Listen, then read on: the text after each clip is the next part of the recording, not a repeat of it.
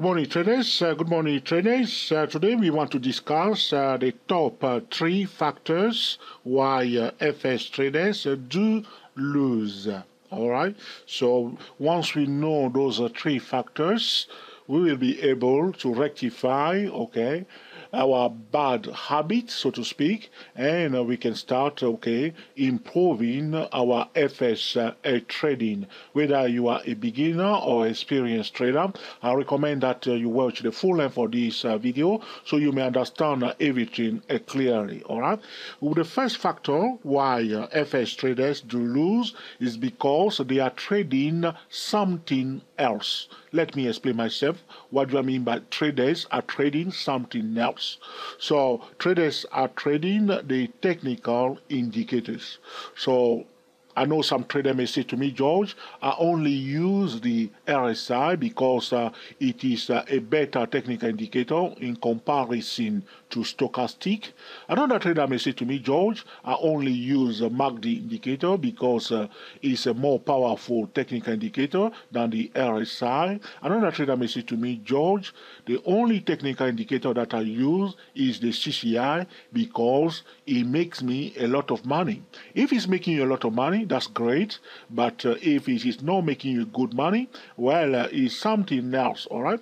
So when we are saying that traders, uh, okay, FX traders are trading something else, is because they are not paying attention to the price. They are paying attention to the stochastic. They are paying attention to the RSI indicator. They are paying attention to the R to the CCI indicator. They are paying attention to the moving averages. They are not trading the price itself. All right. So this is the number one factor why traders, okay, FX traders do lose a lot of money in the forex market.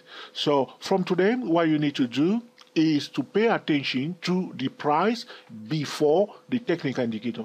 I'm not saying that do not use MACD. I'm not saying that do not use RSI or any other technical indicator. All I'm saying, first, pay attention to the price or if you are looking your, at your technical indicator, let the price confirm the technical indicator. Draw trend lines and channels on your chart. Okay, so we are looking at uh, the British pound, New Zealand dollar, okay, currency pair, and you can see this is the price. Forget about the stochastic 833 for a moment, all right, and then pay attention to the price. You can see that uh, here the stochastic 833 is oversold, all right? Here it is. So when the stochastic is oversold, it is pointing to us a support level, all right?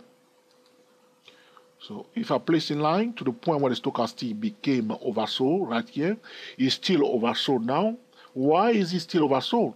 Because the price is breaking below uh, those support level. If the price continue to break below the support level, the stochastic will still okay, will stay oversold for some time, all right? So here the stochastic in these two vertical lines, you can see that the stochastic was oversold. If you were only, okay, trading something else or trading the stochastic alone, look what's happened here. All right, the price is going down, all right, and the stochastic is oversold. But hold on a second, let's put a trend line on this monthly chart. I'm going to connect this point and this one here. Now we see a bearish trend line. So the first thing that comes to my mind whenever I see the price staying below a bearish trend line is that I want to look, I want to give priority to bearish signal. All right, break below, retest and around, or price rally up to the edge of, of the trend line. All right, so the stochastic was oversold. Now I'm paying attention to the price and I notice that the price is going down from a lower lows a lower high. So you may say to me, Joy, here it was oversold. Here the price went up. Yes, it was because the stochastic was pointing to us it is a key level at 20562. Say, George, be careful. There's a key level here. Now, what we need to do, instead of trading the stochastic and buy straight away, we should use what? A top-down trading method or a multiple time frame trading method. So stochastic oversold, meaning that the price at a key level or support level. Now, let's apply the multiple time frame trading method. If the signal fail, we are out. Here you can see that the price went up a bit, which means it went up for two months, but then the signal fell, and now the price start going down. Now, if we were trading only something else, or the stochastic alone, or any other technical indicator, we will keep buying, though the price, the number one indicator, is telling that George, now this support level at 20562 is kaput, because if I switch, uh, I'm going to call out that support level now into uh, orange, okay? So now you see the stochastic silver. So if you keep just buying, but the price D below that orange line, which is the support level that the stochastic was pointing to us, all right? If you go to the daily chart, pay attention to the orange line, you see? On the daily chart, D below that orange line and retest here. That's why people sold it down. So break below, retest, because the price was below a bearish trend line. So by paying attention to the price and uh, trading the price itself instead of the stochastic or any other technical indicator, I am now able to improve my FX trading. So the number one factor why traders, FX traders are losing is because they are not trading the price and they are trading something else. They are trading the technical indicators instead of trading the price itself. It makes sense. Another thing I want to show you, I'll go back again to the uh, monthly chart. You can see that uh, the price was consolidating between two levels. Okay, pay attention, my friend.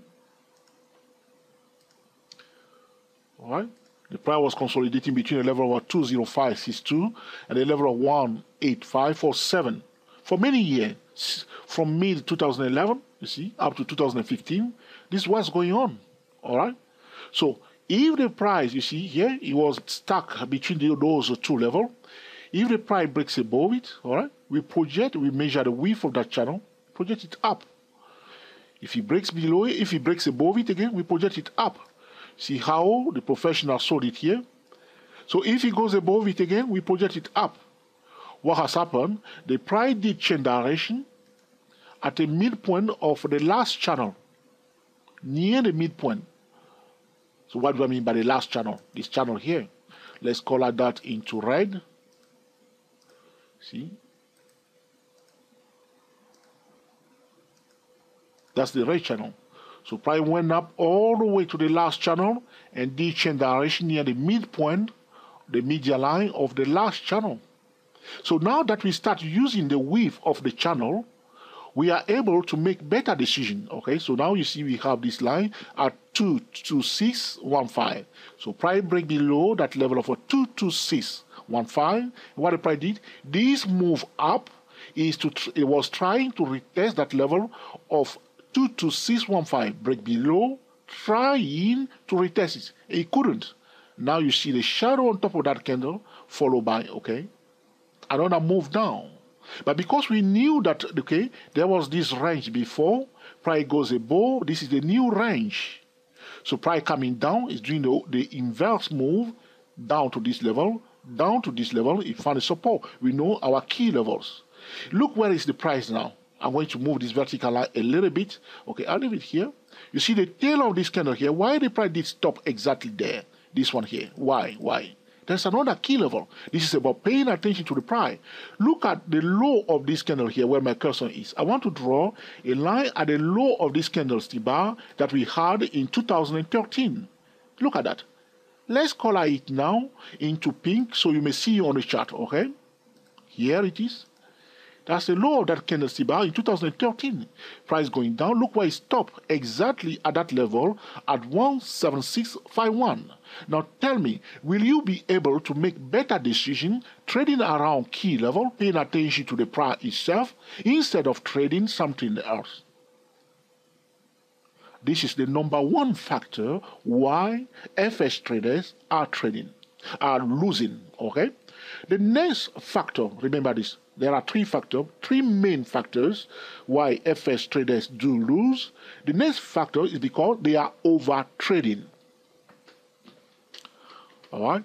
So FX traders are buying, selling, buying, selling.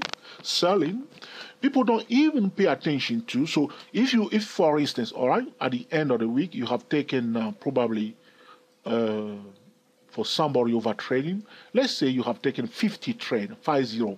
So you are over trading 10 trade a day individually. You are not a business, one person with a small trading account, and you have 50 trade.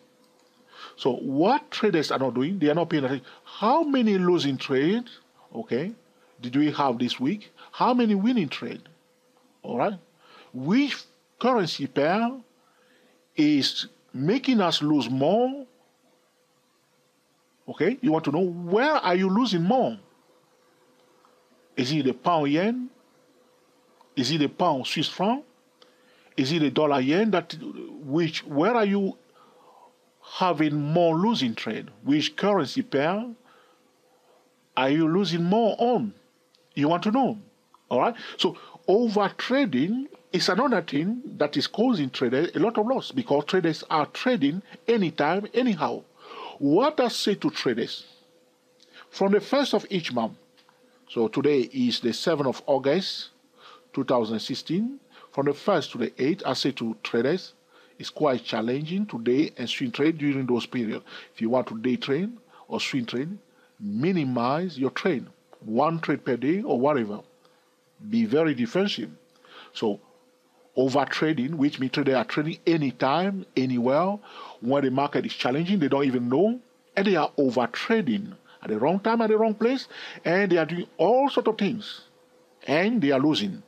This is not about trading skill. It's just about uh, knowing exactly when to trade and how many trade one should trade. It's also about knowing the characteristic of the financial instrument that you are trading. Is it volatile? Which currency pair is friendlier than the other? Okay? So this is about over trading. Traders are just trading.